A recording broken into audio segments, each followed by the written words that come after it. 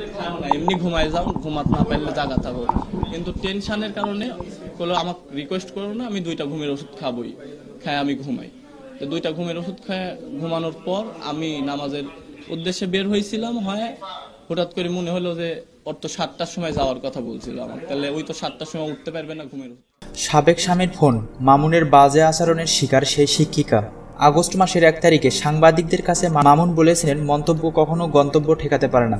এই বক্তব্যের মাত্র দুই সপ্তাহের মাথায় কলেজ শিক্ষক খায়রুন নাহারের জীবন প্রদীপ নিভে গেল।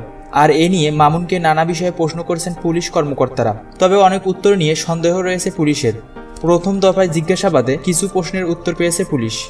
আরও জিজ্ঞাসাবাদ করা হবে বলে জানান সদর সার্কেলের অতিরিক্ত পুলিশ সুপার মোহাম্মদ মহসিন। এলাকাবাসী জানায়, নিজের আয় না থাকায় মামুন তার স্ত্রীর আয়ের উপর নির্ভরশীল ছিলেন। মামুনের লেখাপড়া যাতে ব্যাঘাত না ঘটে, সেজন্য নাটোর শহরের বাড়ি ভাড়া নিয়ে থাকতেন খায়রুন নাহার।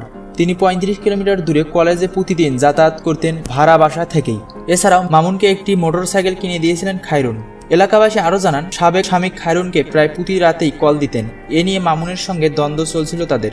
ফোনের বিষয় নিয়ে মামুন খায়রুনের সঙ্গে বাজে আচরণ করতেন বলে দাবি করেছেন এলাকাবাসীরা। এ বিষয়ে অতিরিক্ত পুলিশ সুপার মোহাম্মদ মহসিন জানান, নানা দিক থেকে খায়রুনের দ্বিতীয় স্বামী মামুনকে জিজ্ঞাসাবাদ করা হয়েছে।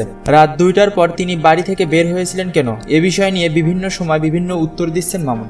এদিকে মোটর সাইকেলটি কিস্তিতে কিনে দেওয়া হয়েছে বলে দাবি করেছেন মামুন। এছাড়াও রাতে খায়রুন নাহারের কাছে সাবেক স্বামীর ফোন আসতো বলে মামুন স্বীকার করলেও এ নিয়ে দ্বন্দ্বের বিষয়টি অস্বীকার করেছেন তিনি। অতিরিক্ত পুলিশ সুপার মোহাম্মদ মহসিন বলেন, প্রতিবার জিজ্ঞাসাবাদে মামুন দাবি করে, খায়রুন নাহার নিজেই নিজেকে শেষ করে দিয়েছে। এছাড়াও প্রকৃত ঘটনা জানতে মামুনকে আবার জিজ্ঞাসাবাদ করা হবে বলে জানিয়েছেন তিনি।